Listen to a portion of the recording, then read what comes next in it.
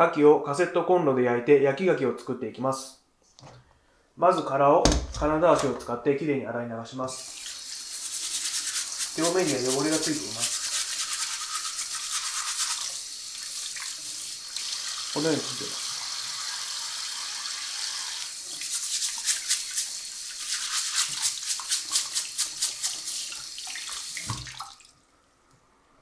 きれいになったらあとは焼いていくだけです。それでは牡蠣を焼いていきます。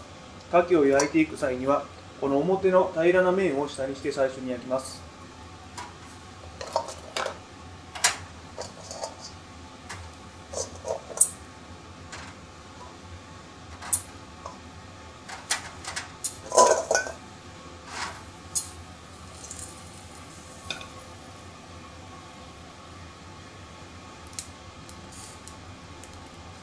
平らな方を下にして3、4分ほど経った状態です。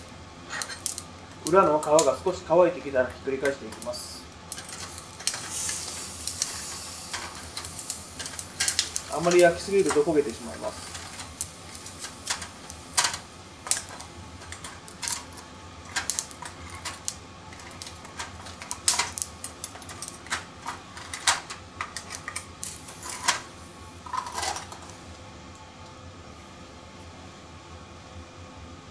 ひっくり返して3、4分ほど焼いた状態です。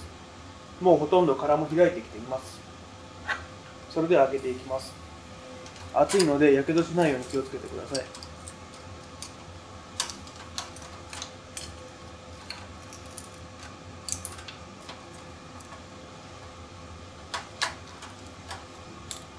熱々です。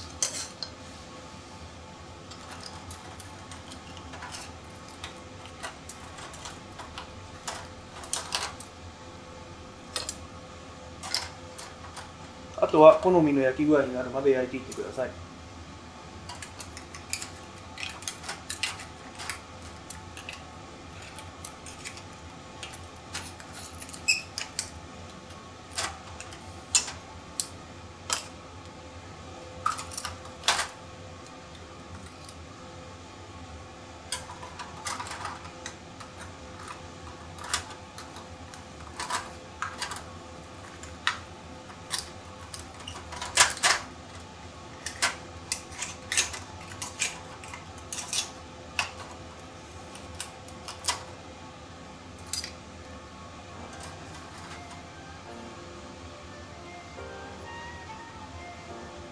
それでは焼き上がったのでいただいてみたいと思います。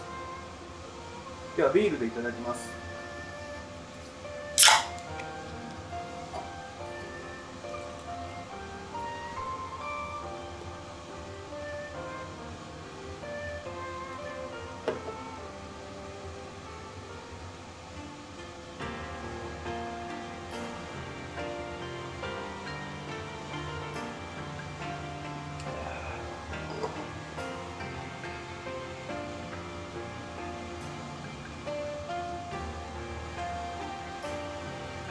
まずはそのままプリプリの牡蠣をいただいてみたいと思います。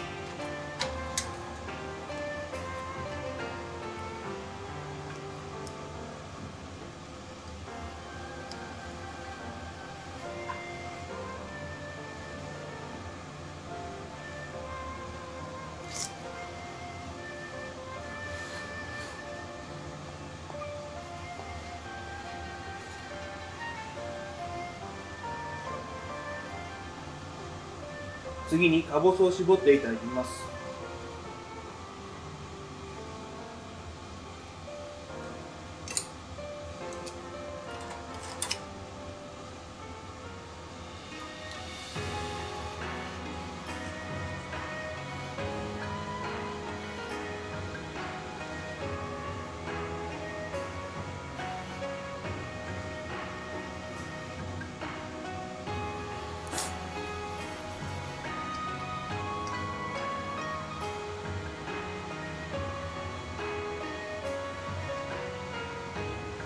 焼きたての牡蠣には特に味付けも必要ありません。